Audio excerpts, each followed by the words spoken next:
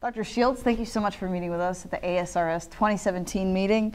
You had a presentation about the correlation of genetic abnormalities with clinical features of uveal melanoma. Can you tell us a little bit about that finding? That's a little sure. bit interesting. Yeah. So there's been a lot of development in the field of uveal melanoma. You know, we're detecting tumors earlier. Uh, we have some new therapies on the horizon. But what I spoke about here is perhaps, I think, the most compelling.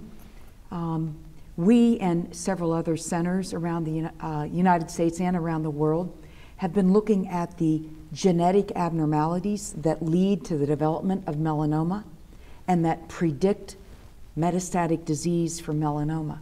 And so, in my talk that I gave, I looked at these genetic abnormalities. What exactly is the risk for metastasis? And then I took it one step backwards and I said, hey, can we identify any clinical features that predict bad mutations?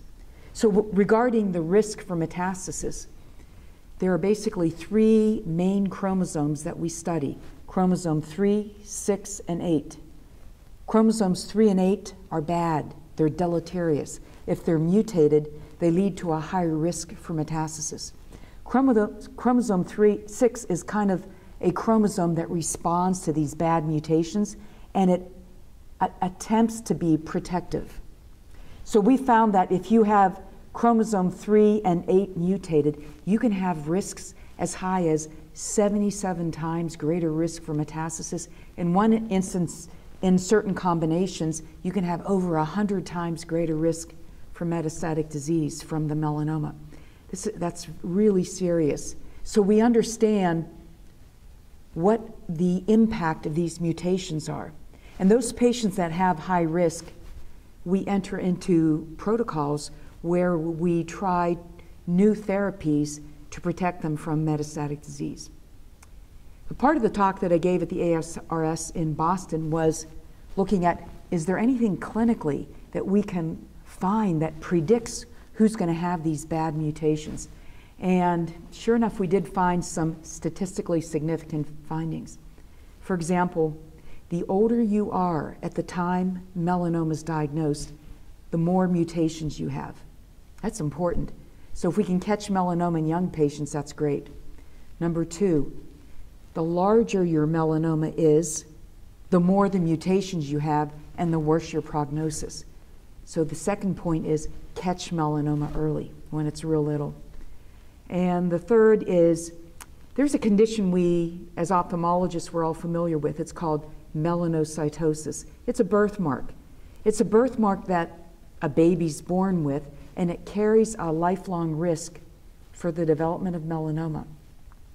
And if you develop melanoma, we found that that birthmark, melanocytosis, is associated with a risk in chromosome 8 mutations. So these are three really important clinical features older age, larger tumor, and ocular melanocytosis. Where do you see research going in this field given these findings? Yeah. So, you know, I think it's more than identifying just genetic mutations.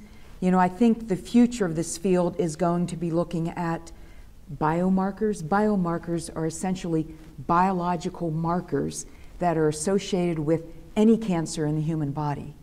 And there are hundreds of biological markers like uh, BRCA1, BRCA2 with breast cancer, uh, BRAF with skin melanoma. And it's important to know these biomarkers because we now have medications that work specifically against these biomarkers, like we have new anti BRAF medications. So we know that BRAF is not mutated with uveal melanoma. It is mutated with conjunctival melanoma, a different type of melanoma. But I think the future is going to be looking at all of these biomarkers with the intent to identify one or two or five or ten that could be managed with systemic chemotherapies that we already have. Because we have to improve the prognosis with melanoma. Um, so this is so different than when I entered the field back in the 1980s basically the big thing was to identify melanoma when it was small or medium and treat it. Now we're looking into the, the, the microscopy of the melanoma. What is it about the melanoma that makes it higher risk, that make, makes it at risk for metastasis? It, these are big strides that we're making with uveal melanoma. So, given these recent strides in, in, the past few decades, what would you say to clinicians and, and retina specialists in their daily practice who maybe have patients um, facing this? Yeah. So, you know, the average ophthalmologist might see a patient with a uveal melanoma two or three times in their entire practice over 30 years.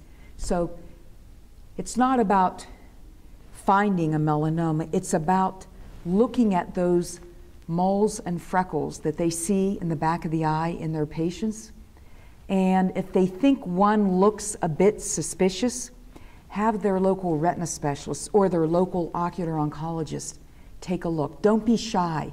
Don't be embarrassed to have an ocular oncologist take a look at a freckle just to be sure it's not a flat melanoma. So, for the general ophthalmologists out there, the take home point is catch melanoma as early as possible. Um, you know, all of us in ocular oncology are willing to look at pictures or emails or letters with pictures attached.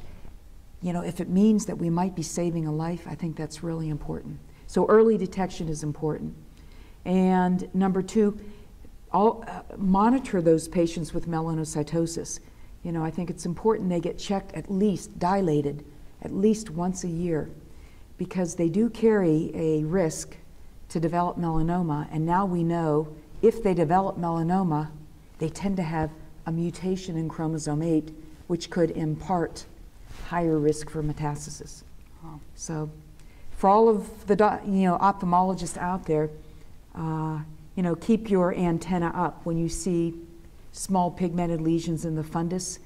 Um, keep a watch on them, take a photograph, maybe get an ultrasound or an OCT, just to be sure that lesion isn't producing subretinal fluid or risky features.